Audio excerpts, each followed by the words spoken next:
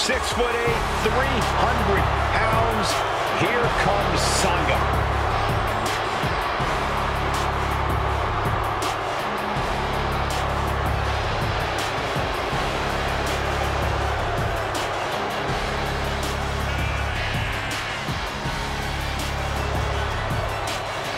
One of the most dangerous and imposing competitors to ever come out of India. We've seen his path of destruction in NXT, but now he is focused on all of WWE.